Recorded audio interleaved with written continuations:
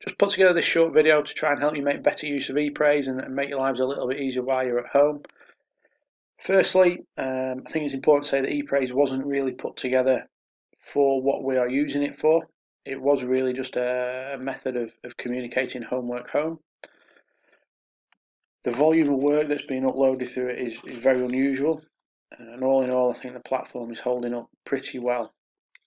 First thing I want you to all be really conscious of is the option under the Me tab at the top where you can go and select and change your password. If you've not already done so, please do that. Really important to keep your password secure and changing it does generally make it a little bit easier for you to remember because it's something that you have set it to. Again, under the Me tab, we've got the profile option. And if we can just click on the profile option for now, this will take you to your own sort of individual home page. Uh, and across the top right corner, there are several different options. The one I want you to look at first of all is the class notes option. This will take you to a page that displays all of the work that has been set via ePraise. Scrolling down, you can see that there is a huge amount of work that has been set. So it is understandable really that for a lot of pupils that's quite confusing, a little bit um, daunting and overfacing. So what we're going to do is look at a slightly different way of viewing it. But before we go to that, I just want you to draw your attention to this, which is the Submit Online button. If teachers have activated this feature by clicking on this button, you will be able to submit any work back to them through the ePraise platform, not through email. But what I want to show you now is this little planner icon It looks like a bit like a diary or a calendar. It's one of the icons at the top right. If we click on that, it takes us to a different view. It's still the same work, still within the same profile. It is just laid out a little bit differently. And it is done on a week to week basis. If you get to a point in a couple of weeks where you've lost something and you can't find it, you can just use the arrows to scroll back to a previous week. ePraise defaults to show work that is uh, display work, sorry, that is due on this particular day. So all the work here will have been due on Monday. We are not 100% sure at the minute as staff which the best way of using the due date and the set by date is. And we are working on that um, for this week, it's probably best just to get through the week as best we can. Uh, over the Easter holiday, we'll have a little bit of a rethink, and then we will hopefully, after that, have a very consistent approach to it, and everybody will be following the same pattern. Obviously, there is more information contained in these boxes than you can currently see.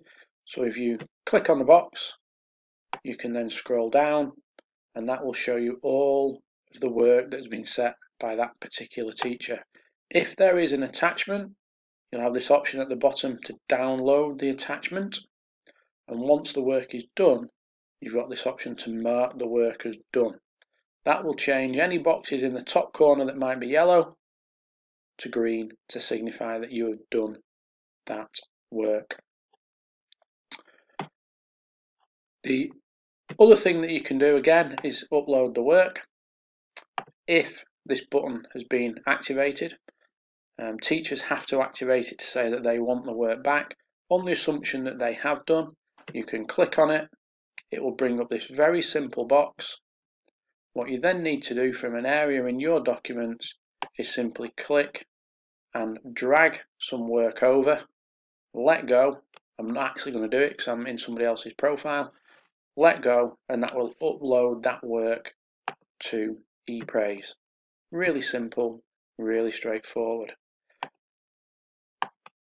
For now, that's uh, about it. I don't want to show you too many things in one go. Uh, over the coming weeks, I will look to put together one or two other videos in response to queries or questions or difficulties that people have been having. Um, also, potentially one or two other features that we are looking to activate within ePraise that will hopefully make just communication between school and home that a little bit easier. If you've got any problems with ePraise, please get in touch um, either via email to Mr. Hyam. Uh, the email address is on the school website, or uh, on the assumption you can access ePraise, you can use the messenger facility that we have just activated uh, since schools closed. Thank you. Just as a, a, quick addition to that video, just realised when I'd finished that I'd just missed saying something. Um, the although the app is very useful and dead handy through the, the phones or whatever it might be that you're using to access them, there isn't quite the same level of functionality through the app that there is through the website.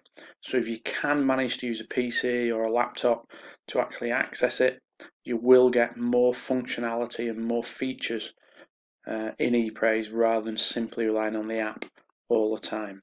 Thank you.